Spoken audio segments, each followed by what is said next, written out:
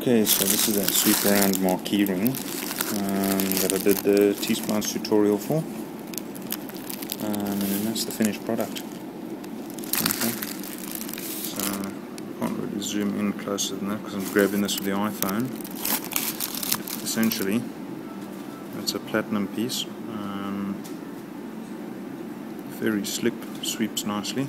Um, sits on the finger good. I, try and see if I can fit that on my, on my pinky.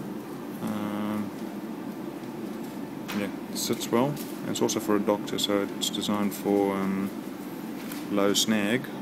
Um, you'll see the the curvature at the end of the stone actually sweeps up towards the point, which is curved downwards, and then comes back down the shank. So that shouldn't snag going in and out of um, gloves or sheets or anything like that. Beautiful piece.